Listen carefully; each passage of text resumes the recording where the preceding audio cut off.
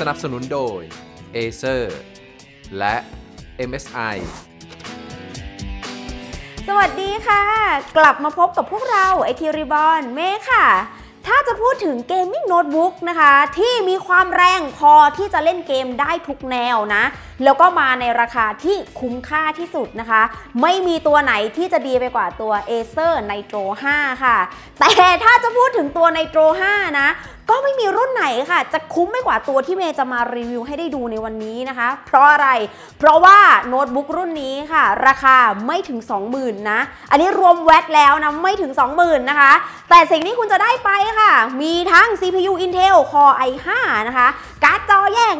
1050 นะ แรง RAM 8 g b แล้วก็ยังมี NVMe M2 นะ 512 g b มาให้ด้วย พร้อมกับ Windows 10 ไปให้ใช้งานกันเลยฟรีๆ ค่ะ แต่เนื้อสิ่งอื่นใดนะ นอกจาก SSD นอกจากความแรงของเครื่องแล้วเนี่ยนะคะ เขามาพร้อมกับ On-Site Service 3 ปีฮ่าใช้งานกันไปแบบว่าอุ่นใจกันยาวๆ เลยค่ะ จริงๆ แล้วเนี่ยนะ พูดมาขนาดนี้เนี่ย คือตัดสินใจซื้อได้แล้วนะ ไม่แปะลิงก์แล้วคุณไปซื้อได้เลยนะ แต่ว่าถ้าใครค่ะยังลังเลอยู่ว่าอะขอดูดีไซน์ขอดูนู่นนี่นั่นก่อนก็อะเดี๋ยวเรามาดูกันเลยนะคะ กับตัวนี้ค่ะ Acer Nitro 5 AN 515ขีด52ขีด53 TU ค่ะ ก็ดีไซน์ของ Nitro 5รุ่นนี้นะคะ ยังคงมาในดีไซน์ที่เป็น carbon Kevlar ค่ะ วัสดุด้านหน้าเนี่ยจะใช้เป็นพลาสติกนะคะ แล้วก็จะมีโลโก้ Acer อยู่ตรงกลางค่ะ ตัดด้วยด้านล่างที่จะเป็นขอบสีแดงแบบนี้ แล้วที่ด้านล่างสุดนะคะ ก็จะมีช่องระบายความร้อนมาให้แบบนี้ค่ะ ซึ่งโน้ตบุ๊กรุ่นนี้นะคะ ใช้ระบบระบายความร้อน Acer Cool Boost ค่ะ ที่เขาจะมีพัดลมมาให้เนี่ยสตัวนะคะ ช่วยกันระบายความร้อนให้กับทั้ง CPU แล้วก็ GPU เลยค่ะ แล้วโหมดการทำงานของพัดลมนะคะ เราสามารถปรับตั้งค่าได้ง่าย ๆ ผ่านทางแอปพลิเคชัน NitroSense ค่ะ หน้าจอค่ะ สามารถเปิดได้กว้างสุดเนี่ยประมาณ 170 องศานะคะ ซึ่งตัวฝาพับต้องบอกว่ามีความแข็งแรงแรงเลยค่ะ ไม่ต้องกลัวว่าเวลาเราเปิดใช้งานไปบ่อยๆ แล้วมันจะหักนะคะ ส่วนดีไซน์ด้านใต้ตัวเครื่องนะคะ อันนี้ก็ยังมาในโทนสีดำเช่นเดียวกันค่ะ วัสดุที่ใช้จะเป็นพลาสติกนะ มีช่องระบายความร้อนมาให้นี่อยู่ที่ตรงบริเวณนี้นะคะ มองเข้ามาก็จะเห็นเป็นพัดลม 2 ตัว แล้วก็ heat pipe ค่ะ แล้วเขาก็ยังมีช่อง service มาให้อีก 2 ช่องนะคะ ตรงนี้ค่ะสำหรับอัปเกรดตัวฮาร์ดดิสก์หรือว่า SSD 2.5 นิ้วนะคะ ส่วนตรงนี้ก็จะเป็นช่องสำหรับการอัปเกรด RAM ค่ะ ซึ่ง 2 จุดนี้นะ ถ้าสังเกตดูค่ะ เขาไม่ได้มีตัววอยนะ แปะทับมาก็สามารถที่จะอัปเกรดได้ด้วยตัวเองค่ะ แต่ว่าถ้าใครนะคะอยากจะอัปเกรดเป็นตัว M2 นะ อัปเกรดตัว M2 เพิ่มเนี่ย อันนี้นะเมย์แนะนำว่าให้ไปที่ร้านดีกว่านะคะ เพราะมันจะต้องถอดฝาหลังออกทั้งหมดเลยค่ะ อะ ทีนี้ค่ะ ในส่วนของด้านข้างนะเขาก็จะมีพอร์ตเชื่อมต่อมาให้ใช้งานค่ะ พอร์ตแรกสุดจะเป็น Audio Jack นะ ตัวนี้จะเป็นตัว combo ค่ะ ก็รวมกันระหว่างหูฟังแล้วก็ไมโครโฟนนะคะ USB 2.0 มีมาให้ 2 พอร์ตค่ะ ส่วน 2 อันนี้นะคะเป็น LED แสดงสถานะค่ะ แล้วก็สุดท้ายเป็นช่องเสียบอะแดปเตอร์ ส่วนอีกด้านหนึ่งค่ะ ก็จะมีตัว Kensington Lock นะคะ พอร์ต LAN USB Type C มีมาให้ 1 พอร์ตค่ะ แล้วก็ตัวนี้เป็นพอร์ต HDMI นะคะ USB 3.0 Type A มีมาให้ 1 พอร์ตค่ะ ตัวนี้เป็น USB Charging ด้วยนะคะ แล้วก็สุดท้ายเลยเป็นช่องเสียบ SD card ทีนี้ค่ะ ในส่วนของน้ำหนักตัวเครื่องนะคะ ก็จะอยู่ที่ประมาณ 2.5 กิโลกรัมนะ รวมแบตเตอรี่ 4 เซลล์ที่เขามีใส่มาให้ค่ะ ก็ต้องบอกว่านี้เป็นน้ำหนักมาตรฐานนะคะสำหรับ gaming โน้ตบุ๊กที่มาพร้อมหน้าจอ 15.6 นิ้ว แล้วก็ไม่ใช่รุ่นที่เป็นตัว slim ค่ะ และในส่วนของหน้าจอโน้ตบุ๊กรุ่นนี้นะคะ อย่างที่บอกไปค่ะ ว่ามันมาในขนาด 15.6 นิ้วนะคะ ที่ความละเอียด Full HD ค่ะ อัตราส่วนจะเป็นแบบ 16 ต่อ 9 นะคะ แล้วก็ตัวนี้ใช้เป็นจอ IPS ด้วยค่ะ ก็แน่นอนนะคะว่าจะได้ทั้งเรื่องของสีสันที่มีความคมชัดนะ แล้วก็มุมมองของภาพที่กว้างขึ้นด้วยค่ะและตัว panel เนี่ยก็ใช้เป็นแบบ anti-glare นะคะ ช่วยลดแสงสะท้อนเวลาใช้งานค่ะ ก็จะทำให้เราเนี่ยนะสามารถใช้งานจอได้สบายตามากยิ่งขึ้นค่ะ ด้านบนนะมาพร้อมกับกล้อง web camera 1ตัวที่ความละเอียด HD ค่ะ แล้วก็มีไมโครโฟนมาให้อีก 2 ตัวส่วนบอดี้ด้านในนะคะ อันนี้ก็จะใช้เป็นพลาสติกค่ะ มาในโทนสีดำด้วยเหมือนกันนะ แต่ว่าจะมีเป็นลวดลายแบบนี้นะคะ เหมือนเป็นตารางตารางค่ะ คีย์บอร์ดที่ให้มานะคะ ก็จะเป็นแบบ chiclet keyboard ค่ะ จะมีขอบสีแดงๆแบบนี้นะคะ แล้วก็มาพร้อมกับไฟ LED สีแดงค่ะ ซึ่งตัวนี้เนี่ยจะไม่สามารถปรับความสว่างได้นะ แต่ว่าสามารถที่จะเปิดปิดได้เท่านั้นเองค่ะ ส่วนตัวปุ่ม WASD นะ อันนี้จะออกแบบมาให้แตกต่างจากปุ่มอื่นๆนะ เพื่อเวลาที่เราเล่นเกมเนี่ยก็จะได้ใช้งานได้สะดวกมากยิ่งขึ้นค่ะ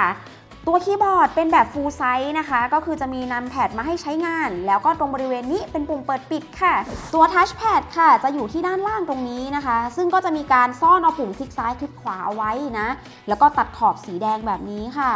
ซึ่งตัว touchpad อันนี้ค่ะ ก็จะเป็นแบบ multi touch นะคะ รองรับการทำงานของ gesture control ด้วยอ่าและสำหรับระบบเสียงของโน้ตบุ๊กรุ่นนี้นะคะ ก็มาพร้อมกับเทคโนโลยี Acer True Harmony ค่ะ ที่จะมีลำโพงมาให้ 2 ตัวนะคะ และเขาก็ยังมาพร้อมกับซอฟต์แวร์จากทาง Dolby ค่ะ ที่สามารถปรับแต่งเสียงได้ตามต้องการเลยนะ คือเขาจะมีค่า preset มาให้นะคะ ไม่ว่าจะเป็นโหมดของการดูหนังฟังเพลงหรือว่าเล่นเกมนะคะ แต่ถ้าใครค่ะหูเทพนะ สามารถปรับแต่งความละเอียดได้เองนะ อันนี้คุณก็คัสตอมไมได้เลยค่ะ เต็มที่เลยนะอะทีนี้เดี๋ยวเมย์ลองให้ฟังเสียงกันสักนิดนึงค่ะ เดี๋ยวจะลองเปิดดังสุดให้ได้ยินก่อนเลยนะ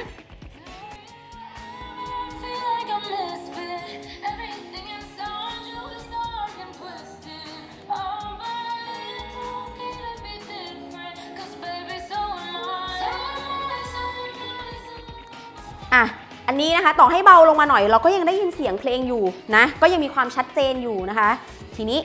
เดี๋ยวลองเร่งให้ฟังอีกทีหนึ่งนี่